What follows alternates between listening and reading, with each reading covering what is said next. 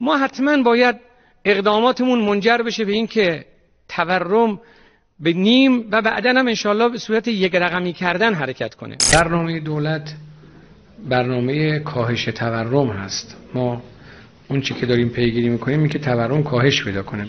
همه آمار هم نشون میده. آمار بانک مرکزی مرکز آمار همه نشون میده که تورم کاهشی به صورت جدی کاهشی شده.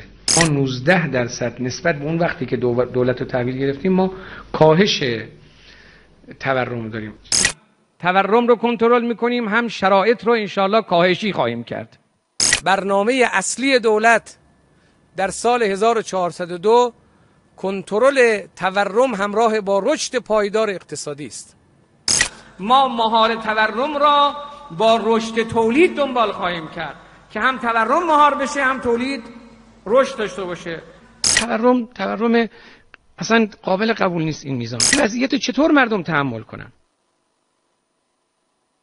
بله اینها وعده های زنجیره رئیسی برای مهار و کاهش تورم در طی دو سالی هستش که سر کار اومده. اما حالا مطابق آمارهای مهندسی شده خود رژیم از ابتدای سال 1401 تا اردیبهشت 1402 گوشت قرمز 34 درصد. روغن مواد غذایی 32 درصد شکر 27 درصد لبنیات 26 درصد و حبوبات 23 درصد افزایش قیمت داشتند بیداد تورم در دولت رئیسی به ویژه با آغاز سال 1402 باز هم های بارها کوچک شده مردم رو هدف قرار داد. داروهای ضروری مردم تا 67 درصد دیگر گران شد. حمل و نقل را 25 تا 40 درصد گران کرد. قیمت شیرخام 25 درصد دیگر گران شد.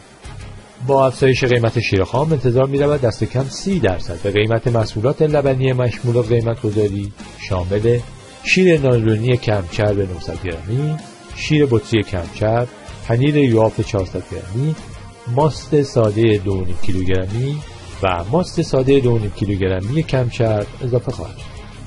رئیسی برای پوشاندن این شکست بار آنقدر به مهندسی و کوچک کردن آمارهای سرسام‌آور تورم رو آورد که صدای رسانه های حکومتی هم در آمده و دستکاری آمارها می نویسند.